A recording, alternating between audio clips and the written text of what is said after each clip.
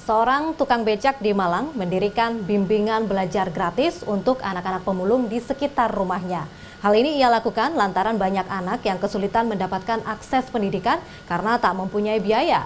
Tukang beca ini pun rela menyewa sebidang tanah demi pendidikan anak-anak yang kurang beruntung. Beginilah aktivitas Ratemat Abu. Kakek berusia 77 tahun ini setiap hari menarik beca di kawasan Pasar Burung Splendid, Kota Malang. Aktivitas ini menjadi satu-satunya tumpuan hidup. Penghasilan yang ia dapat antara 20 hingga 25 ribu sehari.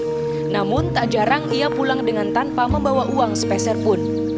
Setiap hari Abu harus pulang sebelum pukul 3 sore lantaran ia sudah ditunggu murid-muridnya di rumahnya di kawasan Tanjung Putra Yuda 1, Kelurahan Tanjung Rejo, Sukun, Kota Malang.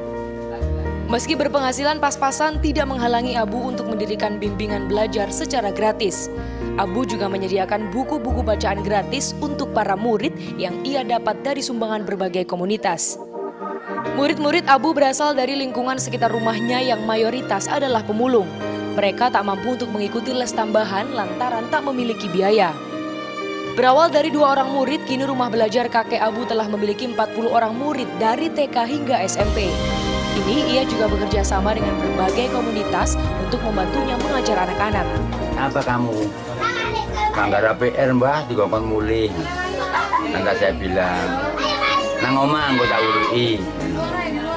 Apa sih nggak iso PR Nah, dengan itu kemudian anaknya jadi rajin belajar, kemudian ajak kawanmu ke sini kalau mau belajar. Pelajaran yang diajarkan di rumah belajar kakek Abu beragam, mulai dari menggambar, matematika, sejarah bangsa hingga bahasa Inggris.